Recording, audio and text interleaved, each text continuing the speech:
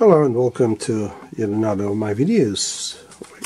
This time it's not a CD player as it normally is, it's uh, a Electrocompaniet AW100 DMB.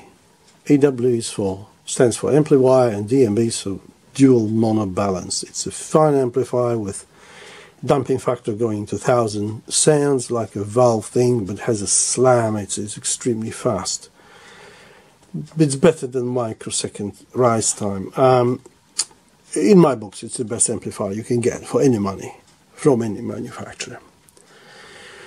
And I even wrote an article about it, but uh, I'll publish it and I'll send you, I'll post the link to it.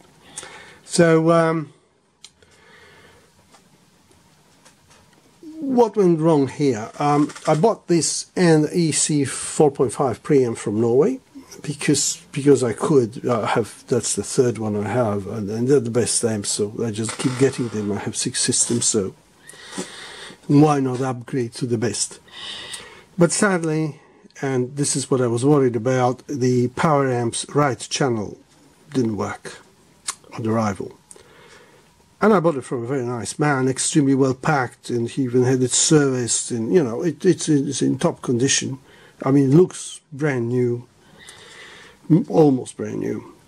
And when you, when you look here, there is sort of a layer of dust, so nobody was opening it up too much. It has been opened before once, but, but nothing major has been done.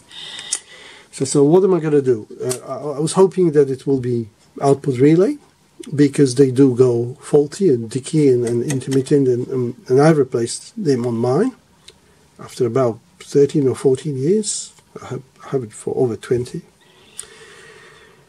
and to find out where I can get um, a voltage there to, to, to, get a signal I looked up on my uh, diagram there. But before I could do it I, I sort of I started with the visual inspection and uh, and wise people say always start with that and if you spend less than 20 minutes it means you're going too fast and skipping on things. So get a magnifying glass and get a proper visual inspection.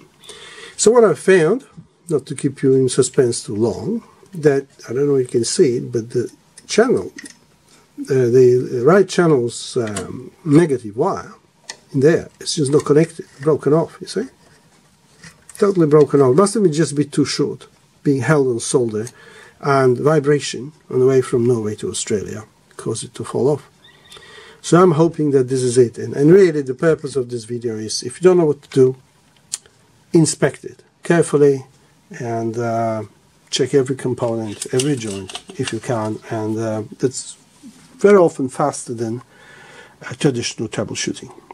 Well, that's it. Thank you very much and till next time. Bye-bye.